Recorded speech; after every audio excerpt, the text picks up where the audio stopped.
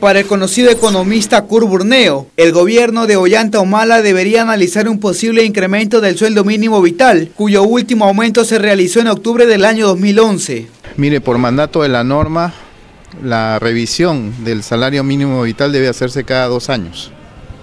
Entonces ya se está en tiempo de, casi con, creces se excedió el plazo de hacerlo.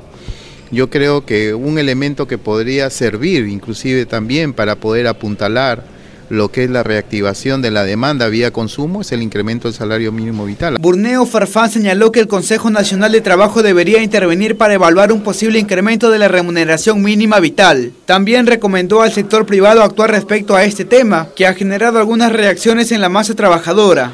Recordemos que el Consejo Nacional del Trabajo también tiene participación sector privado para solicitar la revisión y que en todo caso la, el, el ajuste de la remuneración mínima vital se haga en línea con el crecimiento de la productividad ocurrida entre octubre del 2011 y eh, agosto del 2014. El también ex ministro de Producción señaló que la aprobación de la ley del aporte de los trabajadores independientes a las AFPs debió postergarse porque podría traer consigo efectos negativos. Creo que sería razonable, por razones macroeconómicas, aplazar el, el, esta medida, por un lado. Y por otro, yo creo que tiene que hacerse esfuerzo para hacer, si se quiere, vendible esta idea a los independientes. Vale la pena siempre meditar bien estas cosas, pero en principio, por razones macroeconómicas, yo diría este es el peor de los momentos para reducir el ingreso disponible. Burneo brindó esta información tras participar en el encuentro empresarial, innovación y competitividad en el marco de la Alianza del Pacífico.